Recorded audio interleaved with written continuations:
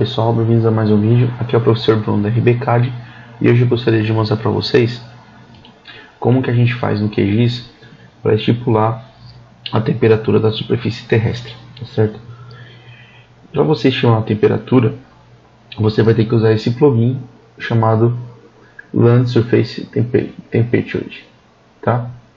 Land, Land Surface Temperature. Meu inglês é muito bom.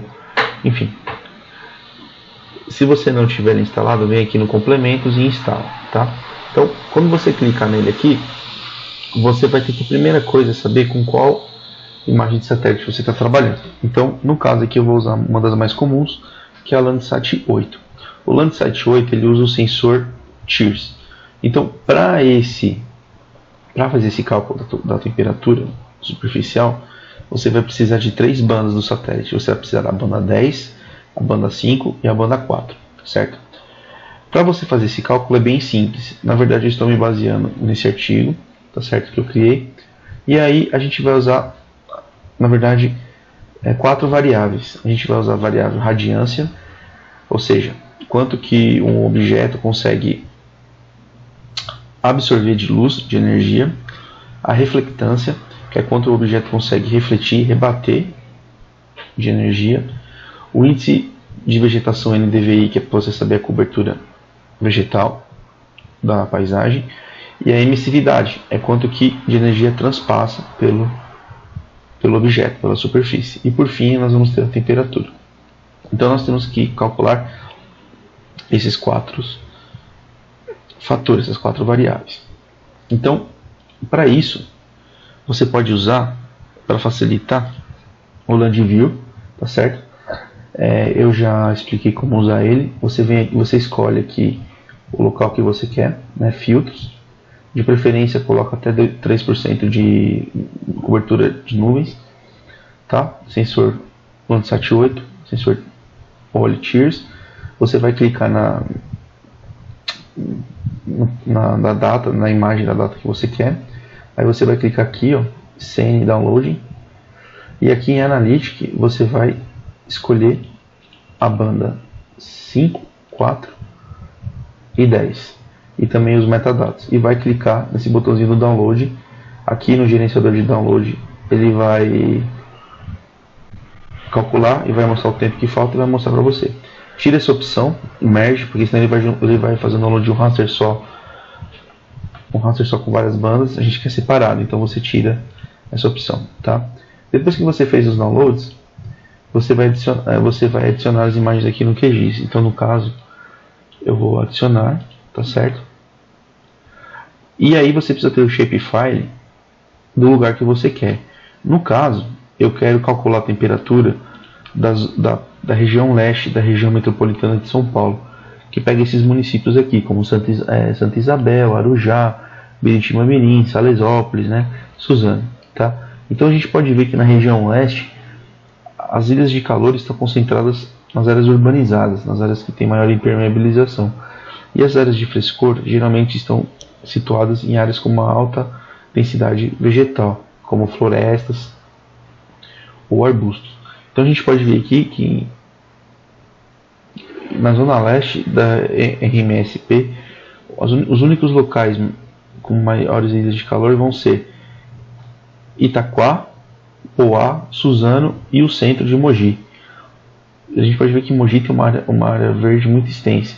Guararema, Biritiba e Salesópolis são praticamente áreas vegetais. Você vai ter lá o seu centro urbano, mas é praticamente desprezível em relação à extensão geográfica.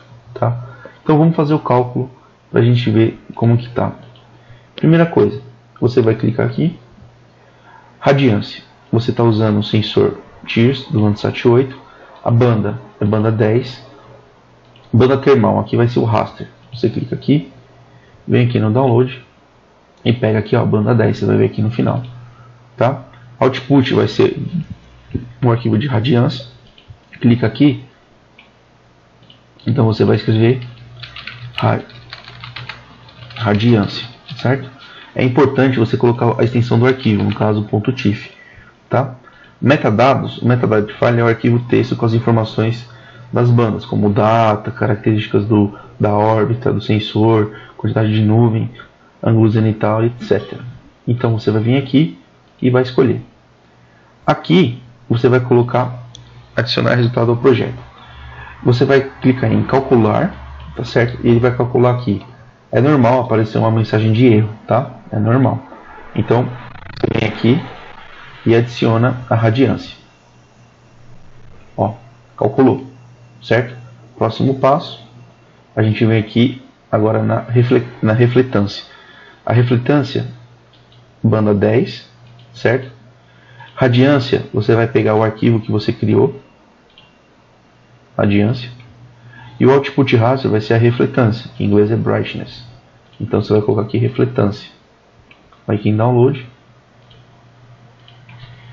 reflectância ponto .tif. Certo? É importante colocar a extensão do arquivo. Dá um calcular, um calcular. Normal aparecer essa mensagem, vem aqui e adiciona reflectância.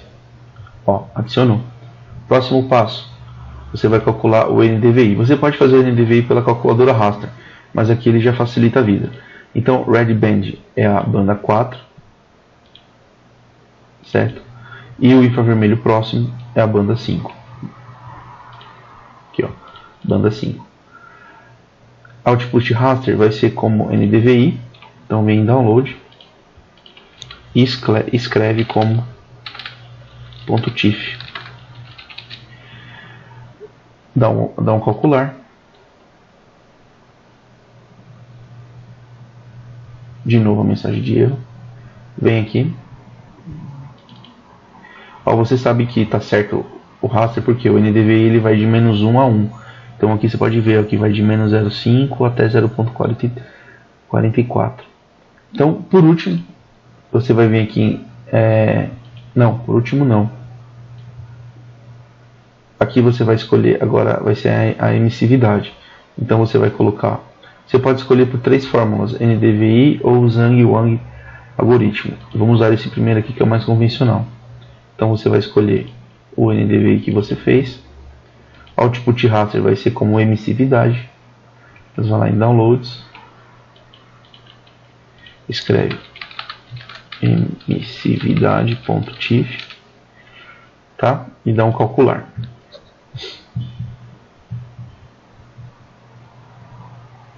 Ó, de novo mensagem de erro. Isso deve ser alguma coisa do plugin. Ó, calculou. E por último, você vem aqui em Landsat Surface Temperature, algoritmos, e você vai escolher a fórmula de Planck, essa daqui. Então você vai colocar Landsat Tiers do, do Landsat 8, banda 10. Aqui no Brightness você vai colocar a refletância. Então aqui ó, refletância, certo?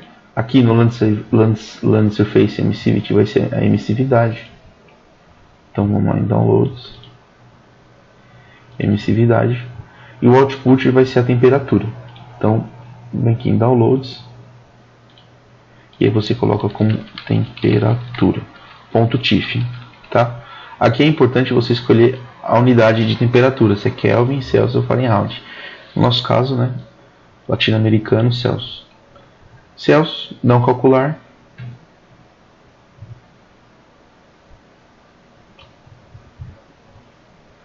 Vem aqui. Temperatura. E agora, ó. O que, que é importante? Posso te apagar as quatro variáveis. Tá certo? E agora a temperatura, você pode ver que o fundo preto está como menos 125. Eu não sei porque ele coloca isso, tá? Mas o que, que eu vou fazer aqui no caso? Eu vou fazer um recorte da temperatura pelo shape da zona leste. Então eu vou vir aqui em, em raster, extrair recorte. Aqui eu coloco temperatura, nenhum valor de zero. Camada de máscara ZL, arquivo de saída. Aí eu escrevo temper, temperatura underline zl.tif. Certo? E dou um OK. Prontinho. Posso apagar a imagem maior E agora eu vou aplicar um estilo para ficar melhor. Então, estilo, falsa cor.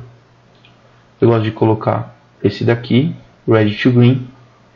Aqui eu coloco decisão real e dou um carregar. Então, nessa imagem, a gente vai ter uma temperatura mais baixa de 10 graus até 42 aproximadamente. Dá um inverter, um aplicar e um OK. Olha só. Então, por aqui você consegue ver quanto que ficou a temperatura, tá? Então, ó, eu coloquei aqui, eu posso colocar aqui uma transparência de 50% mais ou menos, tá? Ou de 30, só para exemplificar. Então, eu vou tirar essas três aqui. E aí eu consigo trabalhar. Eu clico nessa opção aqui de identificar feições e eu clico, por exemplo, na área urbana. Cliquei na área urbana, ele vai dar para mim, ó, 22 graus. Se eu clicar no verde, ó, tá vendo, ó, 19. Então, tá relativamente certo, né? Porque a cobertura vegetal tende a ser mais fria, tá? Então, ó, quanto mais você se aproxima da área urbana, mais quente, tá vendo? É que, na verdade, nesse caso ficou bem distribuída, tá? Mas às vezes você pode, por exemplo, aqui, ó, você pode ver que, ó, são você pode ver que aqui fica mais quente, ó. Tá vendo? Ó, 30 graus.